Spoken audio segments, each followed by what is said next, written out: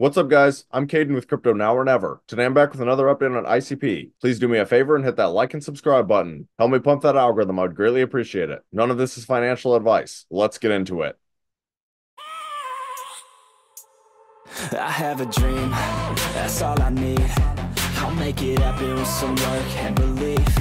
Know what I want. All right, so as you guys can see, for about the last seven days, ICP has just been trading sideways. However, things could start getting a lot better. If you look at Bitcoin right now, it has absolutely skyrocketed, and we have officially gotten back above the 200 day moving average. And we have not been above this level since April 12th. So whether or not it can actually hold these levels could be huge for ICP's future. But anyways, ICP is currently trading at $12.24. Their market cap is 5.6 billion, which ranks 20th among all cryptocurrencies. So since my last ICP video, the ranking still hasn't changed. They're still 20th. And the circulating supply is 464 million out of a total supply of 518 million. Now, if you guys are looking to buy ICP, I recommend using Binance or Coinbase. I think those are the two easiest centralized exchanges to use.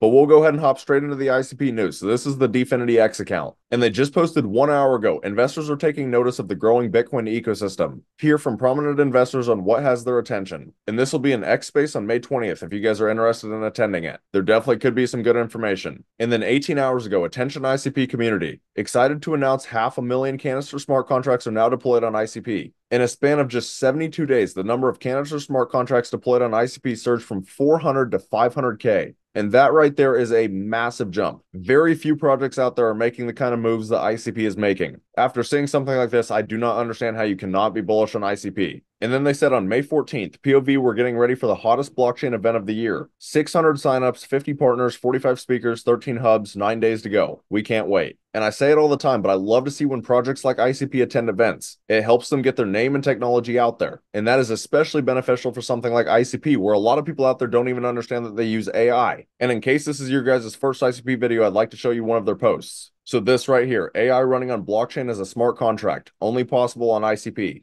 Deterministic time slicing. It's a huge achievement. So the internet computer actually can run smart contract computations that span multiple blocks. And essentially what it does is it has like four logical uh, processors, which, which are actually real processors on these node machines. And you know, it puts a smart contract onto the processor, lets it consume a certain number of cycles, internet computer equivalent of gas, and then yeah. takes it off the processor and puts another um, smart contract on. And uh, these the computations, you know, these smart contract functions that are being invoked, which transactions essentially, can be executed over multiple blocks. And so you can actually do a huge amount of computation in a single smart contract transaction.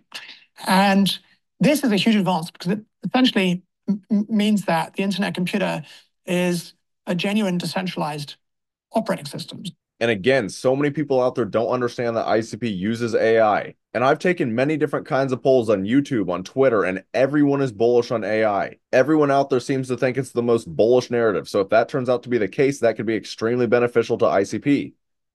But now we'll hop into some macro news. So this is Watcher Guru's X account. So 25 minutes ago, Vanguard hires BlackRock's global head of ETFs as new CEO. Vanguard banned all spot Bitcoin ETFs from their platform in January. So I think a lot of you guys can see where this is headed. That was clearly a big mistake on Vanguard's part, and I think they're going to correct it. And then one hour ago, US inflation falls to 3.4%. And after this news came out is when Bitcoin started to pump. Now, whether or not this is the entire reason, who knows, but I'm sure it still helped. And then 11 hours ago, El Salvador mines 474 Bitcoin worth 29 million using its volcano fueled geothermal power plant. At this point, El Salvador is becoming one of the biggest Bitcoin supporters out there. It's awesome to see. And then 18 hours ago, GameStop stock has outperformed Bitcoin yearly returns in a single day. Now, obviously, to a lot of you guys, this isn't going to seem like a good thing, but I think it's actually hilarious. If you guys trade the meme coin market at all, you would know this has been fantastic for crypto meme coins because both GME and AMC went absolutely nuclear. And there were a lot of people who made 50 to 100x gains. So it kind of transferred over to crypto a little bit. But obviously, at the end of the day, the question is whether or not this will continue to be the case. Bitcoin has been dropping a little bit, but I could very easily see this turning around.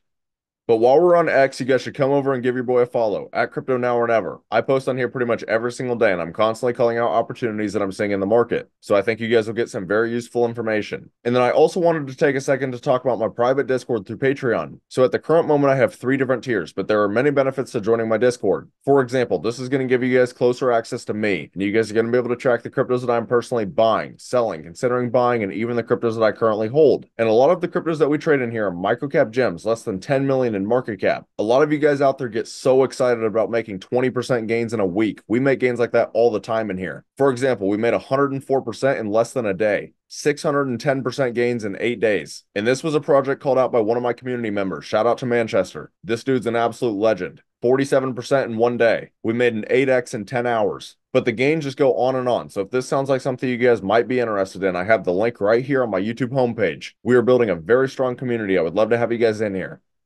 But now for the final part of this video, we'll get into some technical analysis. So this is ICP on the four hour time frame. Now I will say, unlike Bitcoin, ICP doesn't look near as good right now, at least for the current moment, because we haven't gotten back above all of these moving averages. The only ones we're above currently are the 21 day and the 50 day. The real test will be whether or not we can get back above the 200 day moving average. If we can, that could be extremely bullish for ICP. And at the current moment, that level's sitting at about $13.09. So it's definitely possible. It's not that far away at all. But at the current moment, the RSI is getting a little bit overbought and there's not really any divergences. And then if you look at the stochastics, it is extremely overbought. So I'm going to be honest, neither one of those are really something you want to see. Now, at the same time, does that mean we're going to crash down? No, not necessarily. There's actually a very good chance we just continue trading sideways for a little while. In fact, I wouldn't be surprised if we just straight up drop down to about $12. That would be basically trading on this high volume node on the VRVP. And these high volume nodes typically work as magnets. And that could give the RSI and stochastics time to start resetting, and then we could get another explosive move up. But to that same point, if Bitcoin does continue to explode, I also wouldn't be surprised if ICP just follows it. So honestly, at the current moment, I would just mainly keep your eyes on Bitcoin. So this is Bitcoin on the four hour. And as I said at the beginning of the video, we are officially back above the 200 day, unlike ICP, but this is still very important for Bitcoin. Now, in my personal opinion, the number one test for Bitcoin is going to be whether or not we can close the candle above this previous local high. And it's sitting at 64,568. If we can close back above that level, this could be extremely bullish for altcoins. And I could absolutely see a reality where altcoins start to skyrocket yet again. But we need to get back above this level. And similar to ICP, I'm not really seeing any divergences on the RSI. I think a pretty big reason we are pumping right now is because of the inflation news. Is that guaranteed? No, it's not. But it definitely couldn't hurt Bitcoin's case. So yeah, in general, in my opinion, I would just recommend watching this previous local high. See if we can close a candle on the four hour above 64,568. If we do not, honestly look for a little bit of a pullback. But in that pullback, we ideally do not want to lose the 200 day moving average. We want to see it close and we want to see it stay above this level. But as I say in every single one of my videos, macroeconomics significantly outweigh technical analysis. So just understand, crypto is still an extremely volatile asset class. Anything can happen. But that's about all. Let me know down in the comments if there are any other cryptos you'd like me to cover in the future. If you found this content valuable, please do me a favor and hit that like and subscribe button. Thank you guys for watching. Have a great rest of your day.